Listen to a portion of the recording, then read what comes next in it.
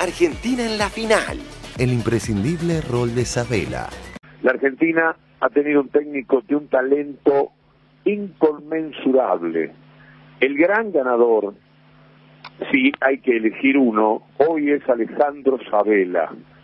Alejandro Sabela que ha hecho una construcción del plantel formidable. El mérito es del tipo que ve esto en la cancha, porque tenés enfrente a 11 monstruos. Claro, Lo que hizo Sabel hacer tácticamente es, genial. Hay que tener equilibrio, agruparse bien, ocupar bien los espacios, atacar con la gente que sea necesaria y no con gente de más, porque a veces cuando atacás con gente de más, te quitas solo los espacios y además de eso, cuando perdés la pelota le dejas mucho espacio a un rival. Si es que además tiene buen desdoble físico, te complica más todavía. Hay una decisión de Isabela de no suicidarse como se Claro. suicida ayer Escolari, ¿no? No suicidarse acá en la Argentina siempre fue visto como ser defensivo o este, ser cagón, básicamente, porque eso es lo que este, le decían a Isabela. Y me parece que fue inteligente, Sí, el- digamos.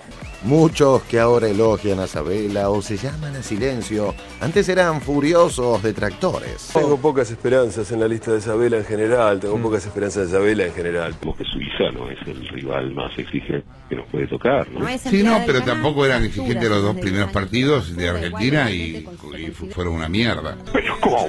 Esos calificativos, da la nata. Vi los dos primeros partidos y realmente fueron malos, Martín, en serio. Fueron pésimos. Por eso. Pero bueno. quería decir que la Argentina es una mierda. No doctor. dije la Argentina, habló de la selección. La Argentina también es una mierda. La Argentina también es una mierda.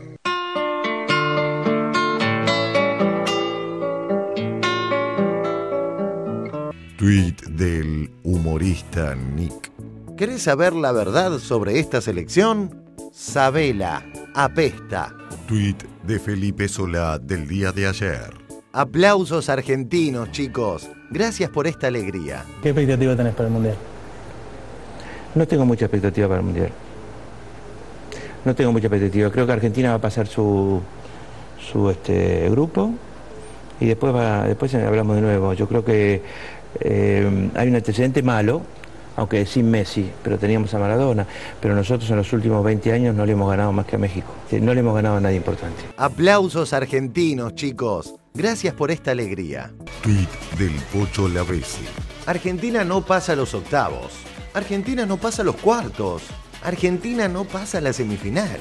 Argentina les manda un beso desde la final. El dueño del fútbol acá no es ni Sabela. No, no, es el Ni Estado, no, es el el gobierno. ¿Le elige el gobierno a los jugadores de la selección? vale. ¿Elige el gobierno a los jugadores de la selección? Vale. Máximo Kirchner no, no, no le gusta mucho Tevez, porque Tevez un día se burló de Racing. Máximo Kirchner no, no, no le gusta mucho Tevez, porque Tevez un día se burló de Racing. Este equipo no muestra un acierto del entrenador, eh, ni funcionamiento, ni esquema táctico, y por eso el informe.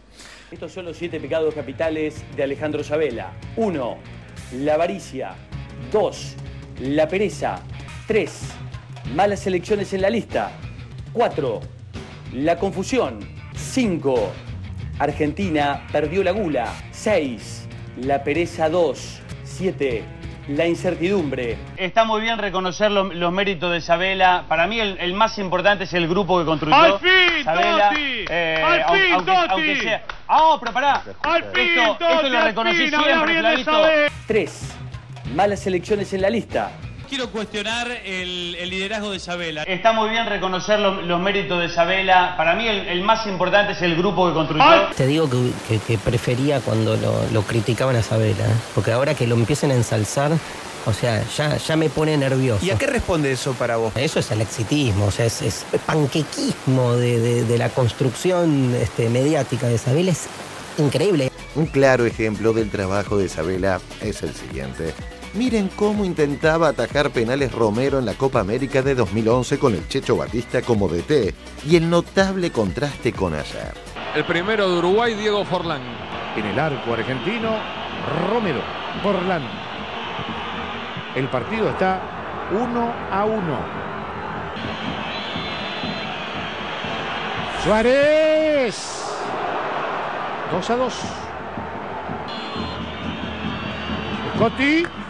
Hay gol uruguayo que se pone arriba en el marcador 3 a 2. Walter Gargano, jugó un ratito nada más. El partido se pone 4 a 3. Cáceres, señoras y señores, Uruguay pasa a las semifinales de la Copa América. Está eliminado el equipo argentino. Y ayer. Definición desde el punto penal.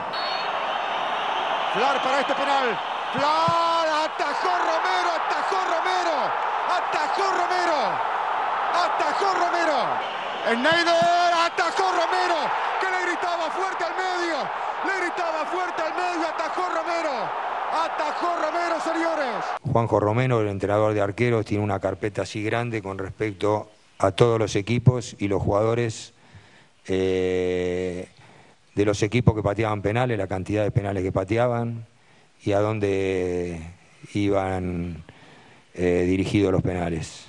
Ayer los argentinos celebramos gracias al chiquito Romero, que era uno de los nombres más cuestionados de este seleccionado.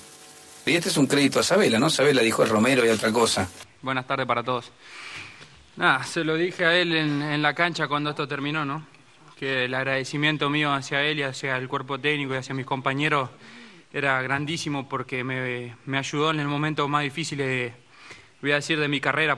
Y Romero segundo. ¿Y qué te parece? ¿Qué te parece? Hay que bancarlo a Romero en el momento en que arreciaba la crítica.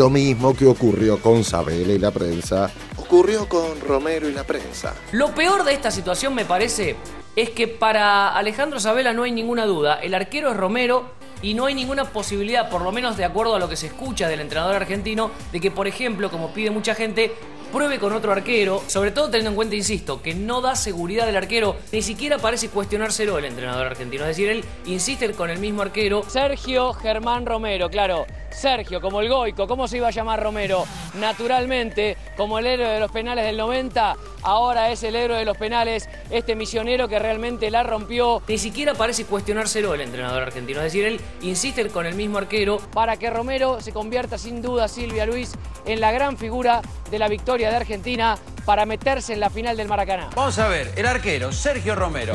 ¿Qué le ponemos? ¿Pulgar para arriba? ¿Pulgar para abajo o en el medio? A ver, vamos a ver si coincidimos. Obviamente, pulgar para abajo, ¿por qué?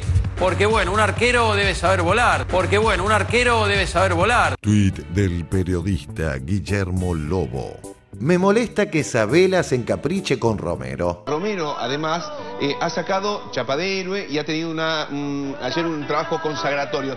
Me molesta que Sabela se encapriche con Romero. No solo es elogiable el trabajo del técnico como líder del equipo, sino que además son destacables los valores colectivos que promueve. Todos juntos y, y si perdemos, perdemos todo y si ganamos, ganamos todo, es así. Y creo que, que lo que él hizo fue formar eso, formar un, un, gran grupo. Somos los 23, el cuerpo técnico, es todo. La verdad que eh, si hay algo que merecía este grupo era, era esto. Creo que hoy jugamos un partido brillante. ¿Cuáles son esos, esos valores humanos que hacen grande a esta selección?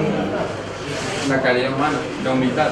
Hoy nos podemos encontrar acá adentro estrellas del mundo del fútbol, en el fútbol, ¿no? a nivel mundial, como son los Messi, los Agüero, los Higuaín, los Macherano, todos jugadores que están en, equipos grandes a un nivel altísimo, pero cuando uno se los encuentra acá, en, adentro, cuando uno comparte un almuerzo o una tarde de mate o jugar al truco eh, y ve la calidad humana que está por sobre la futbolística, es algo para, para recalcar, ¿no? porque está por sobre, está sobre todo. Adentro de este, de este predio hay 22 jugadores que cuando estamos todos juntos predomina o domina la parte humana y la humildad, que es lo más importante dentro de un grupo.